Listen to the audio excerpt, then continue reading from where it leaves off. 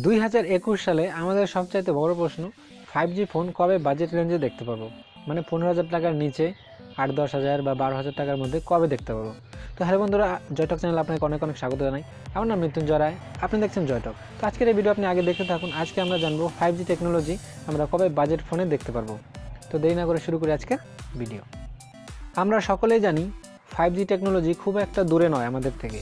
Five G technology খুব তাড়াতাড়ি ভারতবর্ষে অফিসিয়ালি লঞ্চ হবে। তো এবার যারা যারা দশ হাজার বা পনেরো হাজার টাকার মধ্যে স্মার্টফোন পারচেস করবে, ওরা কনফিউজ হয়ে আছে যে আজকের ডেটে ফাইভ জি ফোন পারচেস করব নাকি ফোর জি ফোন পারচেস করব? আজকের ডেটে যদি ফোর জি ফোন পারচেস করি আর হঠাৎ করে যদি ফাইভ জি নেটওয়ার্ক অ্যাভেলেবেল হয়ে যায়, তখন ফাইভ জি আমরা ইউজ করতে পারব না। সেই ফাইভ জি নেটওয়ার্ক ইউজ করার জন্য তখন আবার একটি নতুন ফোন পারচেস করতে হবে।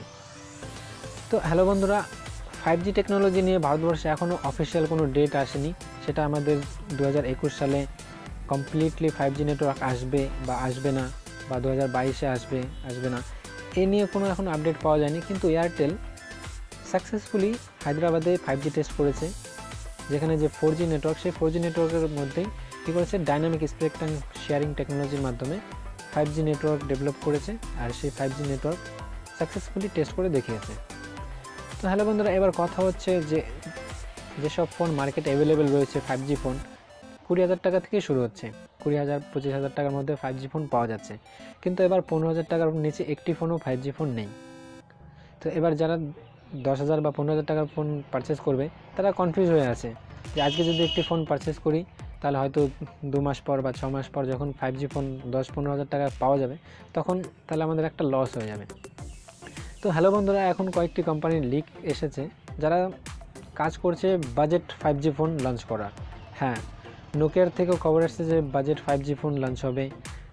মোটোরোলার থেকেও খবর এসছে যে budget five G phone launch হবে, যেখানে Qualcomm Snapdragon four eighty five G chipset ব্যবহার করা হবে। তো Qualcomm Snapdragon four eighty five G chipset যদি ব্যবহার করা হয়, তাহলে আমরা অনুমান করতে পারি সেই স্মার্টফোনের প্রাইস দশ থেকে পনেরো হাজার টাকার মধ্যে হবে। আর মিডিয়াটেক ডায়মেন্সিটি এইট হান্ড্রেড যে প্রসেসর ফাইভ জি প্রসেসর সেই প্রসেসর আমরা দেখেছি রিয়েলমি এক্স সেভেন সিরিজে। সেই রিয়েলমি এক্স সেভেন যে প্রাইস সেটা কুড়ি হাজার টাকা থেকে শুরু হয়। তো মিডিয়াটেকের যে processor five G processor cheapest five G processor সেটা এখনও ডেভেলপ করেনি বা লঞ্চ করেনি।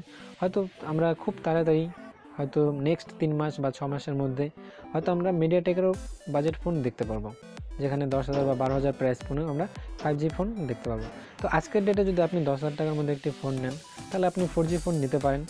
তাহলে নেক্সট ইয়ার আমরা খুব ভালোভাবেই কনফার্ম হয়ে যাবে যে ফাইভ জি আসছে কিনা। আর ফাইভ জি আসলে পর তখন আমরা ফাইভ জি ফোন ব্যবহার পারচেস করে ব্যবহার করতে পারব।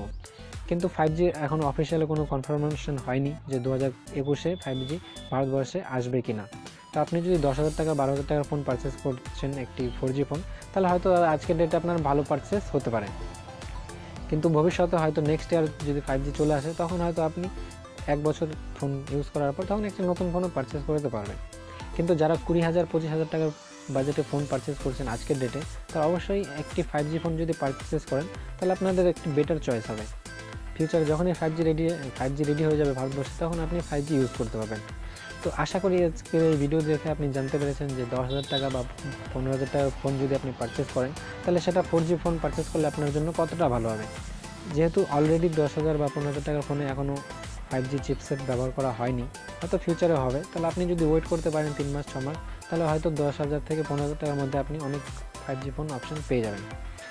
তো আশা করি আপনার ভিডিওটি ভালো হয়েছে তো ভিডিওটি ভালো লাগলে লাইক করুন কমেন্ট করুন, আর আপনার যদি কোনো প্রশ্ন থাকে তাহলে কমেন্ট করে অবশ্যই জানাবেন। তো চ্যানেলে যদি প্রথমবার এসে থাকেন তাহলে সাবস্ক্রাইব করে বেলাইকন অবশ্যই প্রেস করুন। দেখা হচ্ছে পরবর্তী কোনো ইন্টারেস্টিং ভিডিওতে টিল দ্য টাইম ভালো থাকুন, সুস্থ থাকুন। জয় হিন্দ, বন্দে মাতরম।